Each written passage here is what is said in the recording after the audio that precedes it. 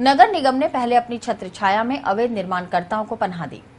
निगम के कथित अधिकारियों और संबंधित पार्षदों ने अवैध निर्माण के पेटे जमकर वसूली भी की, लेकिन अब, जब अजमेर को स्मार्ट सिटी बनाने का वक्त आया और सरकार की ओर से ऐसे अवैध निर्माणों पर कार्रवाई के आदेश आए तो मजबूरन उन्हीं निगम अधिकारियों को अब ऐसे निर्माणों को सीज करने की कार्रवाई करनी पड़ रही है। पिछले कुछ दिनों से नगर निगम के अधिकारी शहर के अलग अलग इलाकों में चुन चुनकर ऐसे निर्माणों को सीज कर रहे हैं जिनके बनते वक्त यह अधिकारी कुंभकर्णी नींद में थे या यूँ कहें कि चांदी की चमक से इनके हाथ बंधे थे।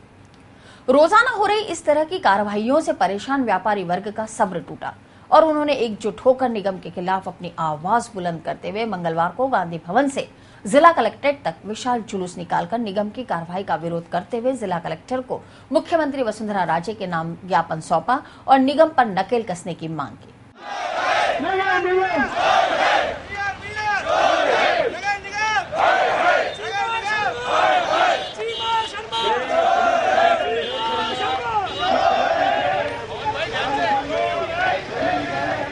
व्यापारियों ने जुलूस के बीच निगम अधिकारियों के नाम ले लेकर नारेबाजी की और आक्रोश का प्रदर्शन भी किया। श्री अजमेर व्यापारिक महासंघ के अध्यक्ष मोहनलाल शर्मा ने बताया कि निगम हठधर्मिता दिखाते हुए अवैध निर्माण के नाम पर नोटिस दे रहा है। सीज कर रहा है और बिजली कनेक्शन भी काट रहा है।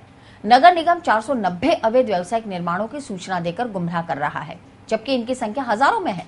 इन सभी निर्माणों को करवाने में प्रत्यक्ष और परोक्ष रूप से नगर के अधिकारी कर्मचारियों की भूमिका रही है।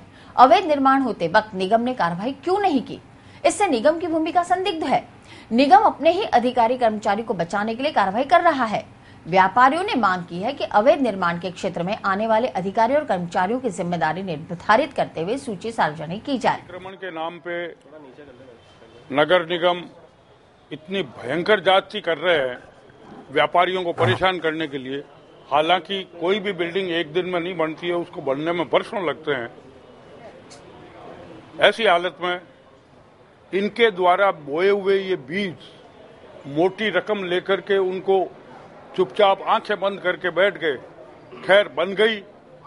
अब उसको बजाय नियमित नियमन करने के उनको नोटिस दिए जा रहे हैं। बिजली पानी काटने की धमकी दी जा रही है।